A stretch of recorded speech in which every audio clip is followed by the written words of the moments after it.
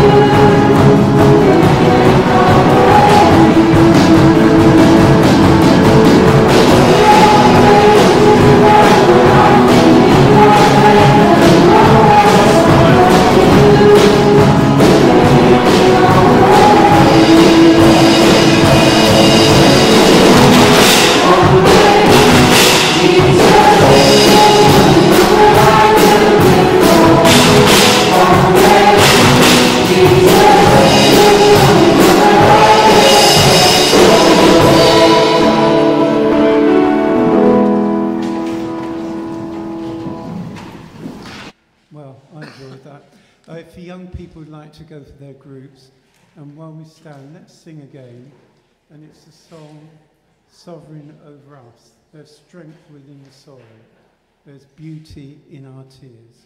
Let's sing that together now.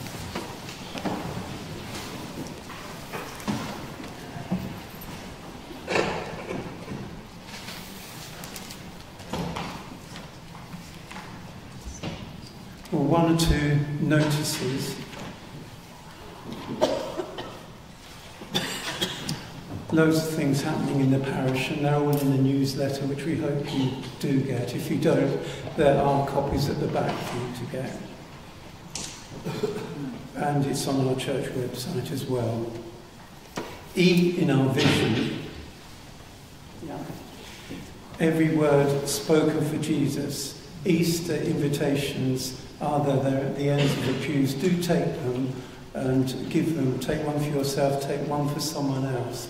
Do invite people. It'd be lovely to see the church filled over Easter. There are lots of different things happening.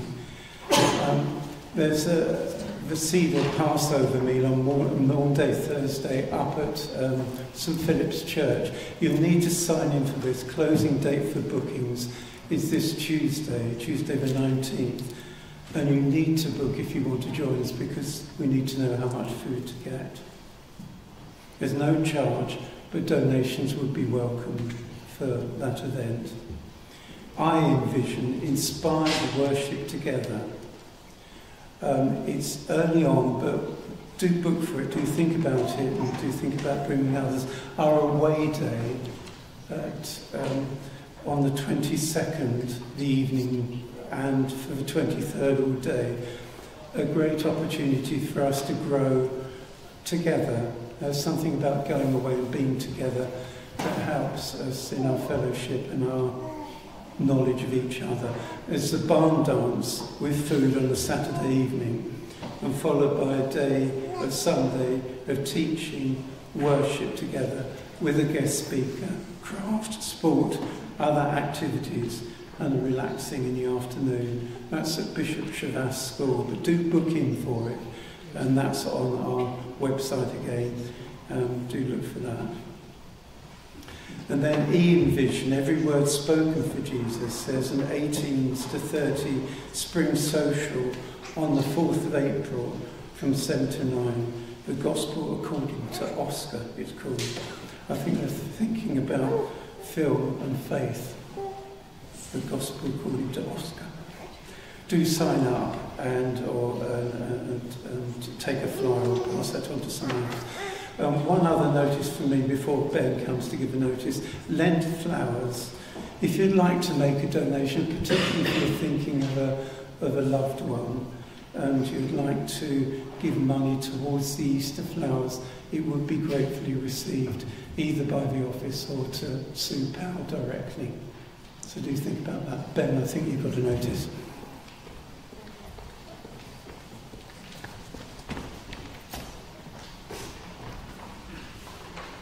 Uh, let me add my welcome to David's. Um, just one more, um, just one more notice for us. Um, e in our vision, every word spoken for Jesus. Christians in sport. Uh, we've got a sport quiz uh, with a guest speaker Saturday, the 27th of April. It is a great evening of sports trivia. You don't have to be a sports buff to come along. And a chance to think a little bit about the Christian faith. Great to come. Really, really great to, um, uh, to invite friends with you. Um, teams of up to eight.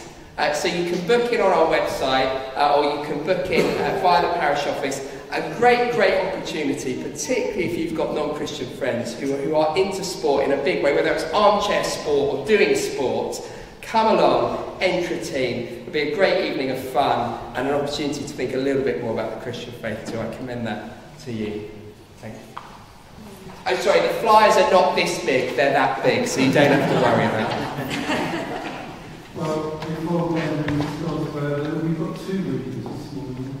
Uh, Juliet's got a reading from Hebrews, The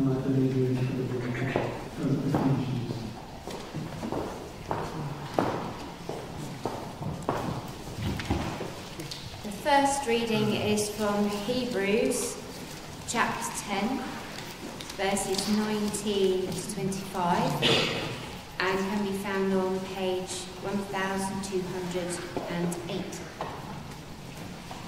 Therefore, brothers and sisters, since we have confidence to enter the most holy place by the blood of Jesus, by a new and living way opened for us through the curtain that is his body, and since we have a great priest over the house of God, let us draw near to God with a sincere heart and with the full assurance that faith brings, having our hearts sprinkled to cleanse us from a guilty conscience, yeah. and having our bodies washed with pure water. Yeah. Let us hold unswervingly to the hope we profess, for he who promised is faithful. And let us consider how we may spur one another on towards love and good deeds, not giving up meeting together, as some are in the habit of doing, but encouraging one another, and all the more as you see the day approaching.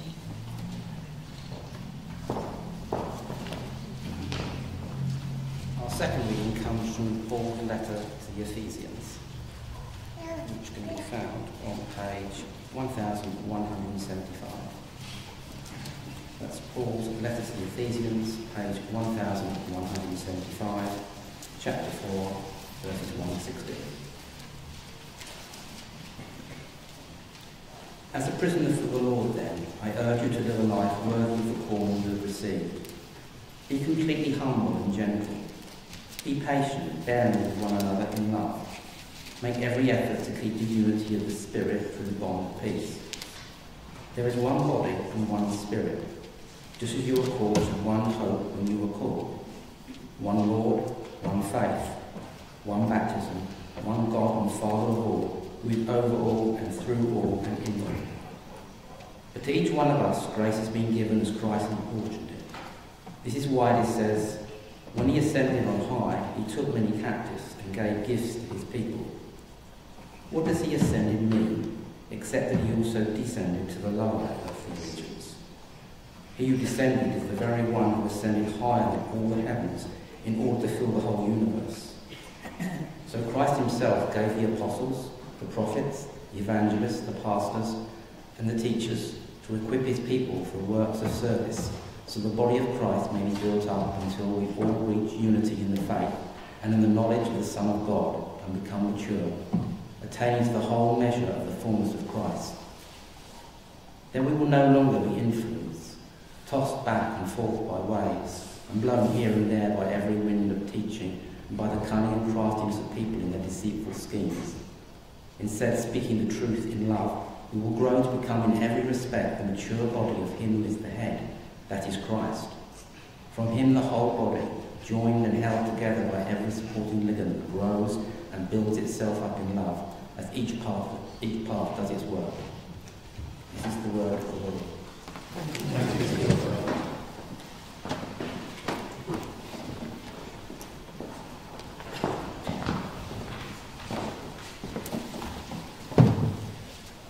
Thank you, Julia. And uh, Ian, do keep your um, Bibles open. We should have, uh, as ever, there should be some screens up uh, on the on the. Uh, should be some screens on the screen. Should be some slides on the screen. So there'll be something to look at, so you don't have to look at me the whole time. If that helps you, I, I- wasn't going to pray at this point, but let's pray after all of that. Father God, thank you for uh, your word to us. We pray that my words might be clear as we seek to understand what you're saying to us now.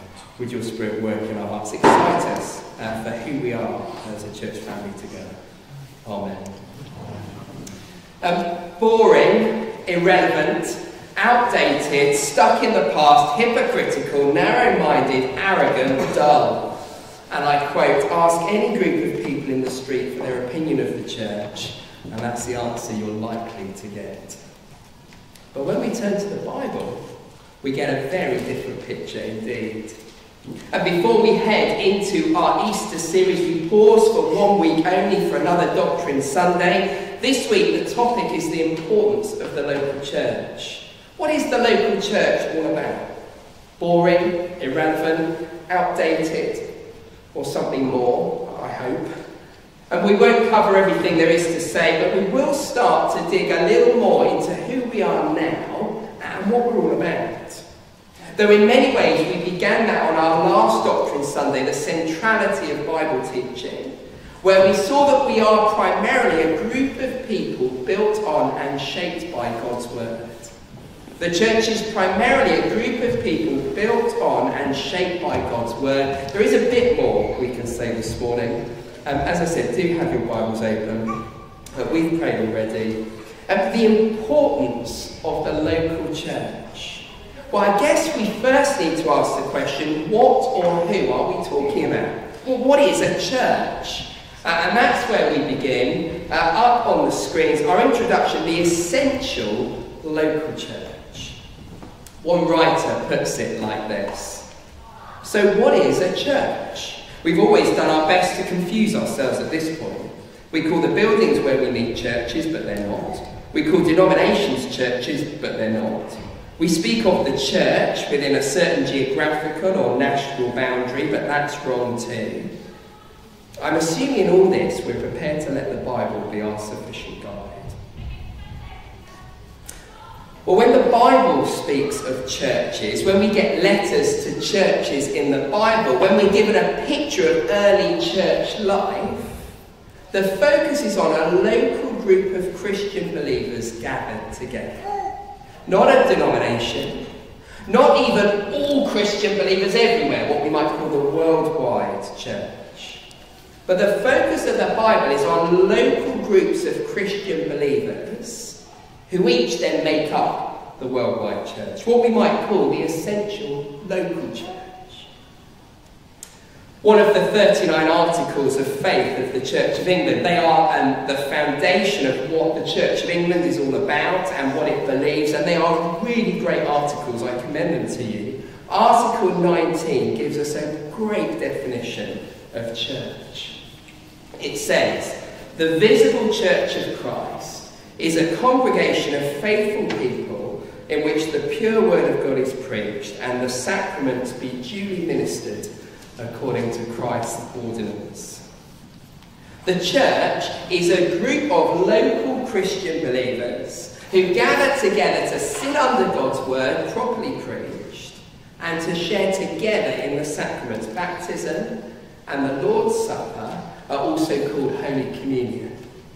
Anyone is welcome to come into our buildings to join us when we gather together, but the church is made up of Christian believers who gather together to sit under God's word, properly preached, and to share together in the sacraments. We really hope that those who join us may become part of the church as they turn and trust in Jesus for themselves. But that's the context for understanding what or who we're talking about. Christian believers gathered here now, sitting in this place, sitting under God's word, sharing together in the sacraments, and indeed, we'll see in a moment, sharing together in our lives. That's who we are. Well, let's explore three features of our relationships, three reasons we might say of being church together.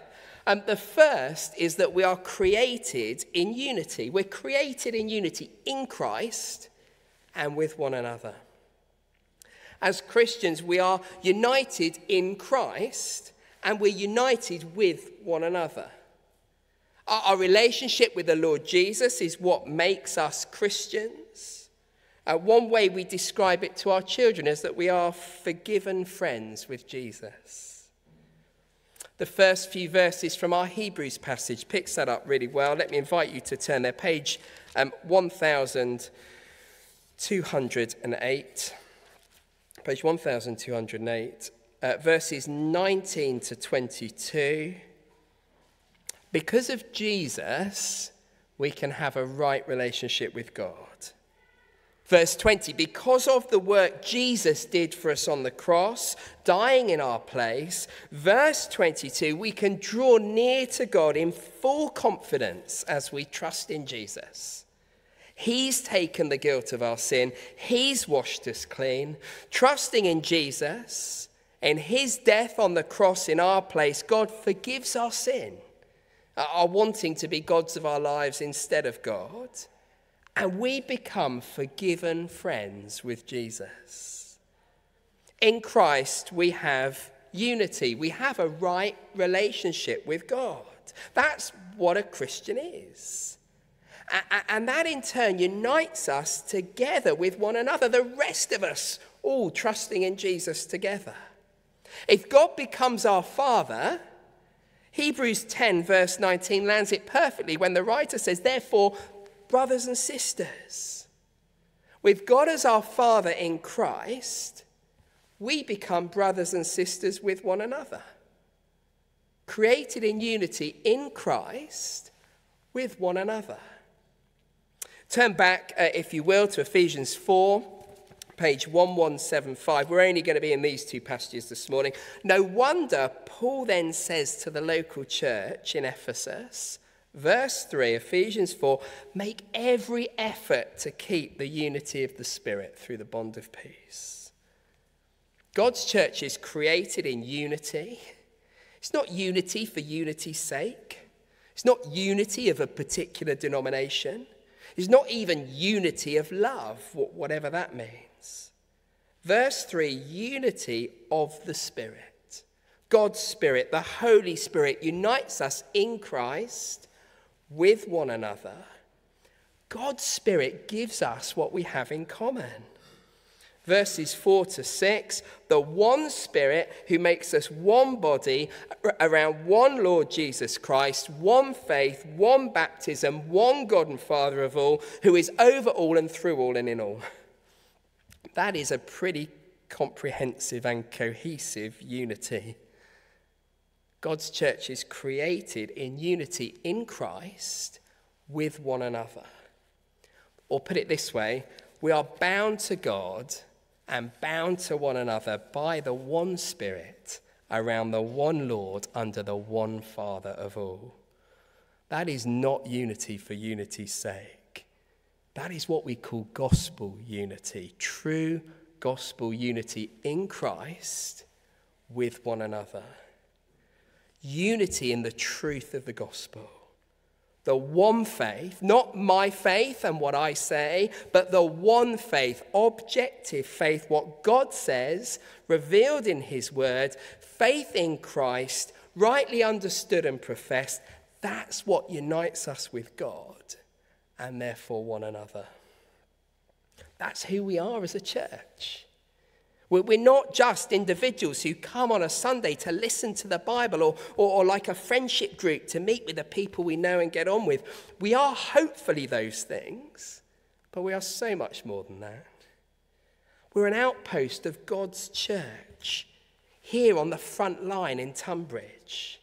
The control center, HQ, it's up in heaven at the moment where Jesus is sitting in person, where David Hayes and Robin Rice are gathered round him. Here now, we are individual Christians united to God by faith in Jesus, united to one another, all those who profess that same faith. That's who we are together as Christians. We're an outpost of the bigger work that's going on in HQ in heaven.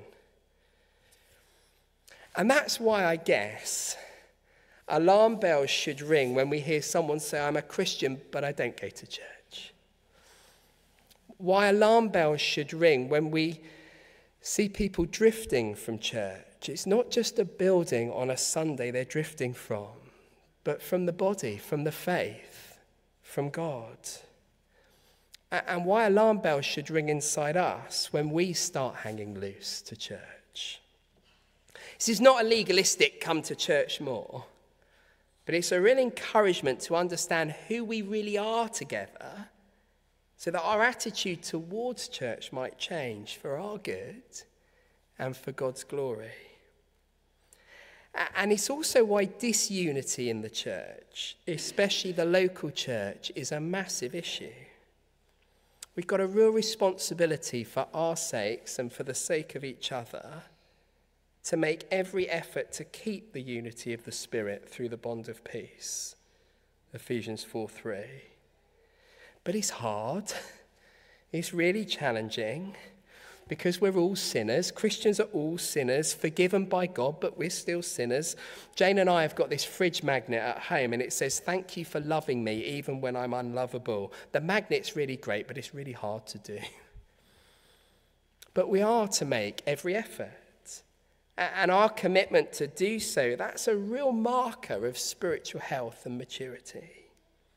And that's possible as the one Spirit works amongst us, in our hearts, where we might otherwise feel these things are impossible. God transforms our hearts to make us more like Jesus. He does something we can never do ourselves. The church is created in unity, in Christ, with one another, but it's also gifted with diversity. That's the second reason of being church together, gifted with diversity. to build the body. We're still in Ephesians 4 now. The illustration here is really simple, it's easy understood. It's verse 12, the language Paul uses of the body. And when our kids were a sort of preschool age, we used to teach them this song God gave me two eyes so I can see. God gave me some hair just right for me. God gave me two ears, two cheeks, and a chin. God gave me two lips to speak of Him. Verse 11 God has gifted the church with diversity. And that's just one of many lists in the Bible with, with different gifts God gives His people. Verse 12 to equip His people for works of service so that the body of Christ may be built up. Like a human body, many parts, each different, but each has its role to work together to enrich the whole. So the church is gifted with diversity to build the body. You know the old expression, I'm all thumbs, meaning I'm a bit clumsy. Well, of course we would be, with just 10 thumbs on the end of our hands. A body needs different organs. God gave me two eyes so I can see. God gave me some hair just right for me. God gave me two ears, two cheeks, and a chin. God gave me two lips to speak of Him. The church needs different, diverse gifts, but all with the same goal of building the body spiritually, numerically, for doing the work of ministry. Verse 12, that the body of Christ may be built up. That, that's part of the responsibility God's given each of us as part of His church here in Tonbridge. There are some things you can do that someone else here can't. There are things uh, that, that, that they can do that you can't. And we just need each other to work together using the gifts God's given us to help build the body of Christ here in Tonbridge, spiritually and numerically. To work towards our parish vision, which we hope and pray is God's vision for this place. And that comes as we work together, as we commit together, as God's people together in this place together. The church is gifted with diversity to build the body. The church is created in unity in Christ with one another. It's gifted with diversity to build the body. But it's also purposed to help each other persevere. That's the third reason of being church together. Purposed to help each other persevere till Jesus returns.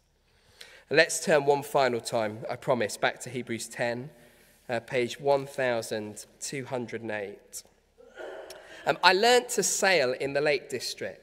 Um, learning to be a crew member before taking the helm. As a teenager, I remember one trip where we set off at the top of Ullswater with the wind whipping behind us, and we aimed to sail the whole seven miles down to the other end. It was exhilarating.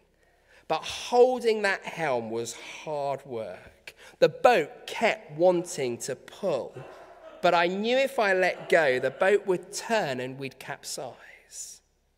Do not let go, I kept telling myself. Hold unswervingly onto that handle. Verse 23, Hebrews 10 do not let go. Not let go of the helm, but of the faith we profess.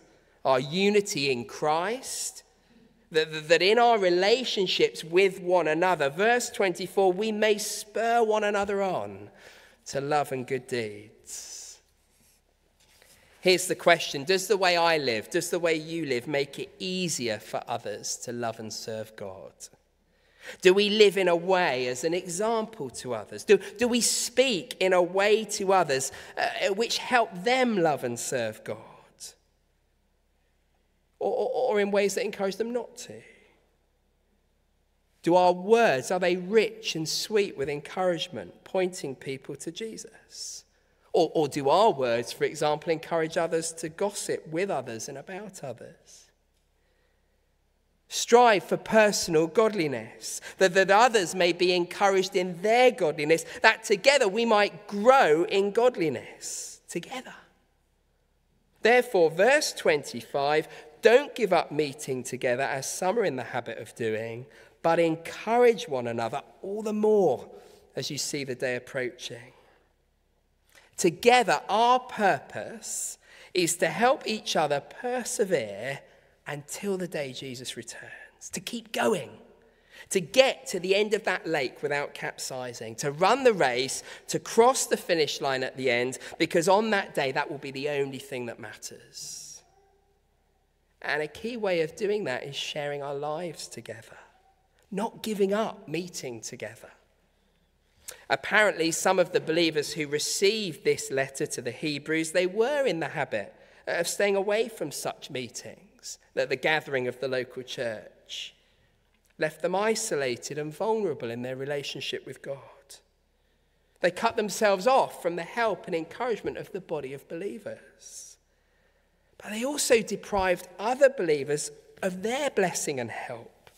It's a double trouble. Everyone loses. The church's purpose to help each other persevere till Jesus returns.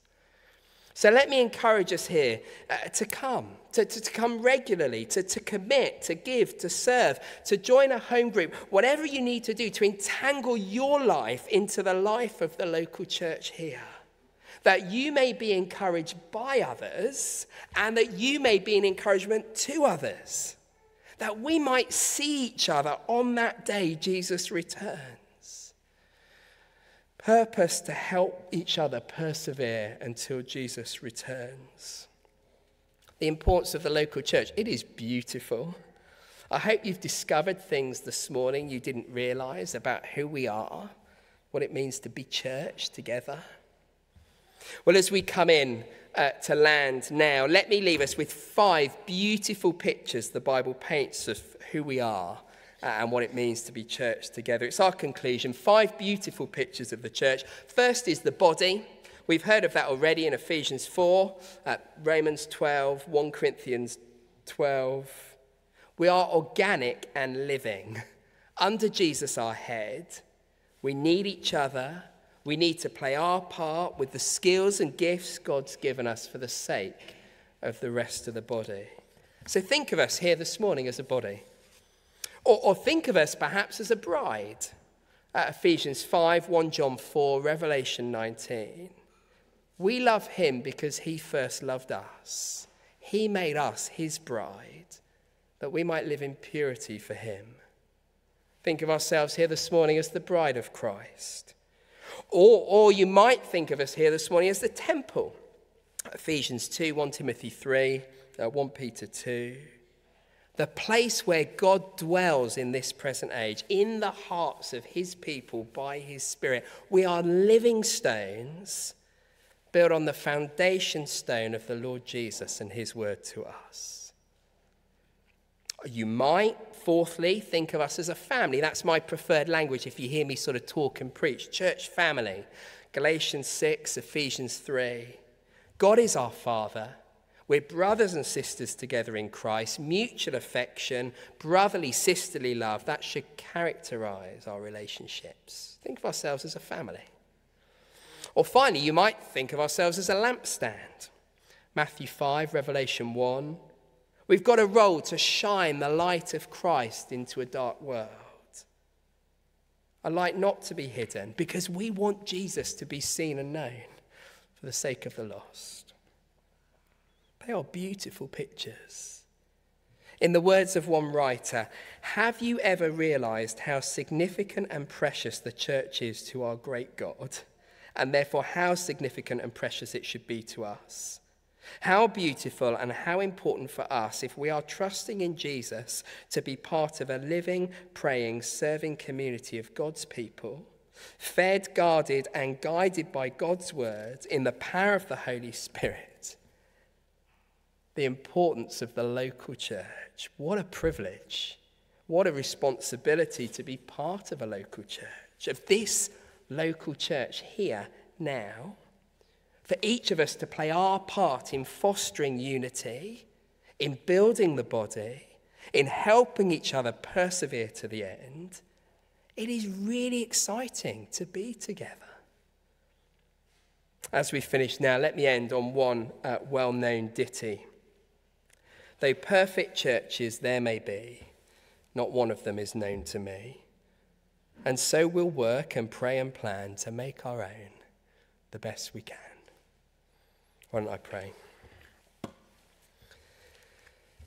Father God, we thank you and praise you for calling us to be part of your people here in this place as we turn and trust in the Lord Jesus.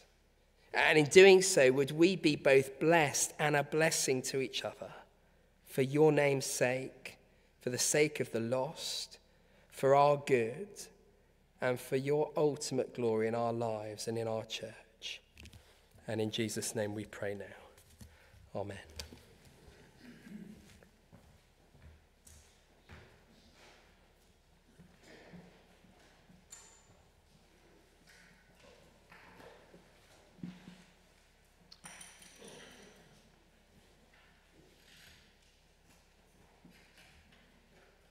Well, hopefully, we long for God to build his kingdom here, and that's what we're going to sing about now.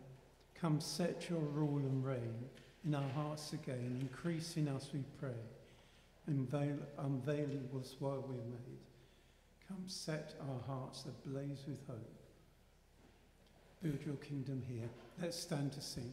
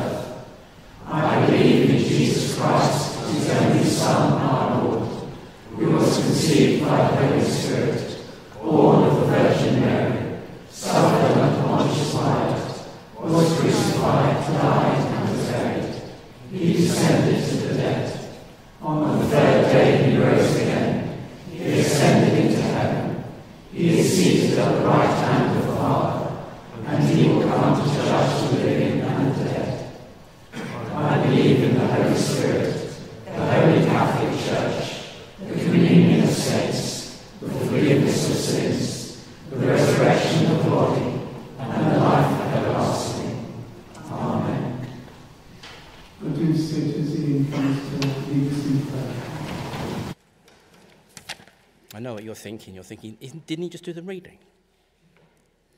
Sorry about that. So let us praise the Lord. Heavenly Father, we pray for all those leading your people. We pray that you would guide them, give them peace in stressful times, protection in times of danger, and that you would use them to lead your people into service that will glorify your name and make your kingdom come here on earth. Help us to appreciate our unity, Lord. Help us to, to know how to express that in practical ways around, for people around, those, around us. Lord, in your mercy.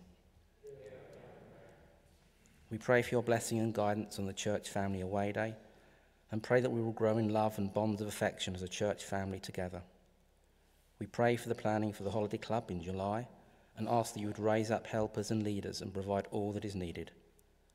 And we pray for Easter services and activities. May we honour you in all that we do. May we understand yet more deeply your plan of salvation and all that Christ, the Word made flesh, did for us. And we pray for new people to begin to understand your plan and come to know Jesus as the only way, the truth, and the life. Lord, in your mercy. And we lift before you in our prayers our parish partners, praying for those in the Diocese of Kondoa, the Langham Partnership, the Gelsthorpe family in Japan, and High Hopes. Lord, in your mercy. We lift before you the many areas across the world in need, including Gaza, that all the aid needed would reach the people. We pray for protection for those fearing for their lives and pray that a way can be found to bring a lasting peace between Palestine and Israel. We pray for an end to the conflict in the Ukraine and for Haiti, where attacks by powerful gangs on government targets began a while ago and continues to cause havoc in the capital of Port-au-Prince, where the United Nations estimates that thousands have been killed, with millions being displaced. We lift before you Mozambique at a time of turmoil. And in a bright, brief time of quiet, you might want to lift before the Lord any areas of the world that are particularly on your heart.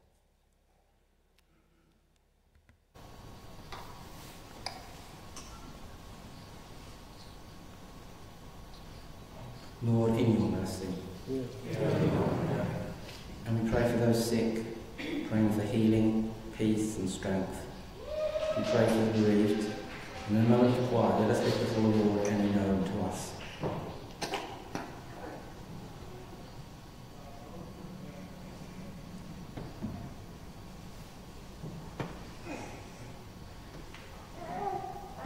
Lord, in your mercy.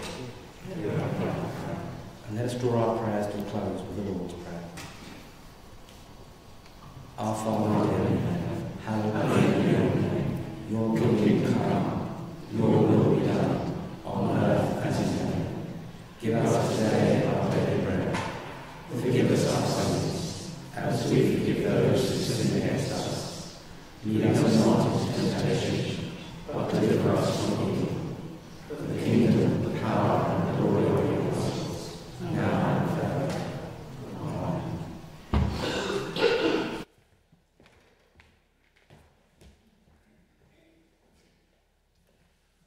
Well, as we draw towards the end of our service, let's stand to sing again. It's the hymn, Lord of the Church. We pray for our renewing. Let's stand to sing.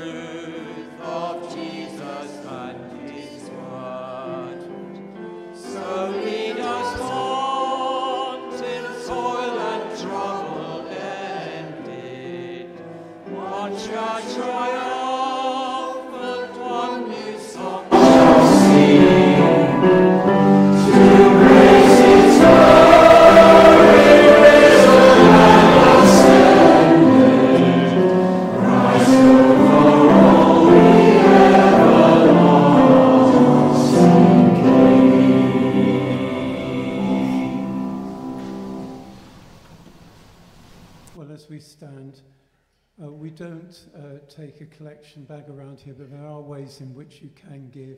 There's a plate at the back of the church and a card reader there if you want to give in that way. Let's hear a prayer of blessing and then let's say the grace to each other while we stand. Now, to him who is able to keep us from falling and to present us faultless before the presence of his glory, with exceeding joy, to the only wise God our Saviour, be glory, majesty, dominion, and power, and the blessing of the Father, Son, and Holy Spirit be upon us, now and forever. Amen. Well, do join us for refreshments afterwards. And now let's just say the grace to each other.